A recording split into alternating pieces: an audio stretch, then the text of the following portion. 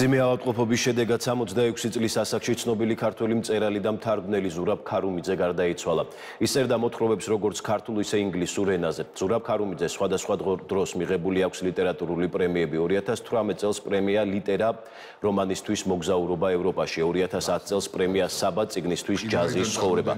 2007-2008 წლებში ზურაბ ქარუმიძე იყო პირველი არხის გადაცემა ღამის საუბრების წამყვანი. ზურაბ ქარუმიძე რედაქტორობდა საქართველოსი გამოცემულ ინგლისურ მრავალ ჟურნალებს საქართველოს კავკასიის პროფილი და კავკასიის კონტექსტი. ლიტერატურულ წრეებში ზურაბ ქარუმიძეს იცნობდნენ შოუ ბაბუხადიას ფსევდონიმითაც. ამ ფსევდონიმით 2017 წელს გამოიცა მისი რომანი ბაყაყები. და საქართველოსი თანდათან საქართველოს იწყებს გახსნას გარე სამყაროსა. ყინვარიდან CVM